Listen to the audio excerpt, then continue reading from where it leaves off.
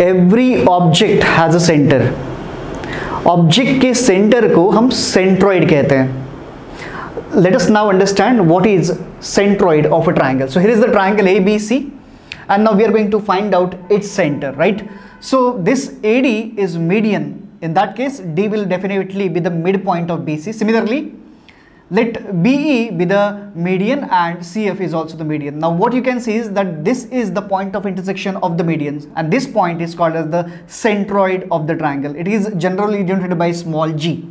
Well, centroid of the triangle divides the median in the ratio 2 is to 1. It divides the median in the ratio 2 is to 1. What does that mean? AG upon GD will be 2 upon 1. If this is 10, then GD will be half of 10 which is 5. Well, if A has coordinates x1, y1, B has coordinates x2, y2 and C has coordinates x3, y3, then this is the formula of the centroid.